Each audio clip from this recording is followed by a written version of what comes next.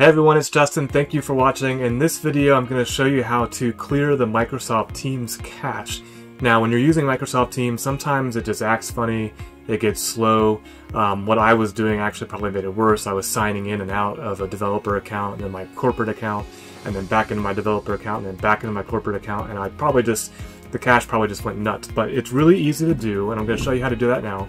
You want to make sure you quit Microsoft Teams, so you want to go down here and right click on Teams and hit quit, and that's going to shut down the Teams application. After you do that, you want to navigate to app data, so I'm just going to type in um, appdata, and notice it's actually coming back with some suggestions there.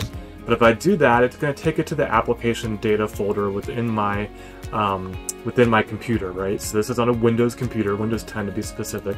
We'll go into Microsoft Teams. Actually, nope, that's not it. I'm going to go into Microsoft and then I'm going to go into Teams. And inside here, you're going to see a lot of stuff, right? So you got some caching here, you got some code cache, you got some blob storage. This is what I want you to do. I want you to click one time on one item and then Control A to select everything.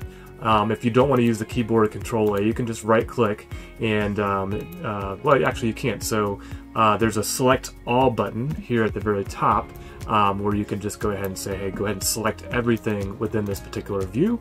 Um, I'll go ahead and clear that off of there.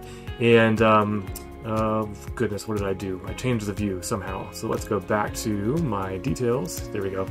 Um, so once you have everything selected, then I want you to right click you can either delete, which will throw it in the recycle bin, which meh, and you've got one more step to go delete it, or you can just go in here and hit Shift Delete on your keyboard. And that will ask you if you want to permanently delete that cache from Microsoft Teams. I do want to permanently delete it. I don't want to go into the recycle bin. Um, you're going to do this frequently probably with Microsoft Teams. That's deleting the cache. It's going to go away. And then our job now is to sign back in to Microsoft Teams.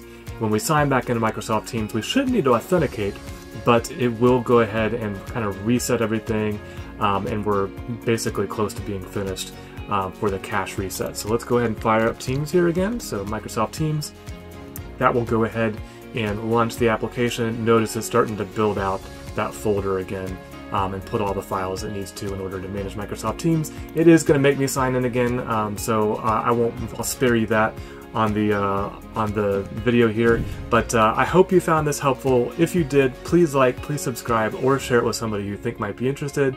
And until next time, don't forget to always be learning.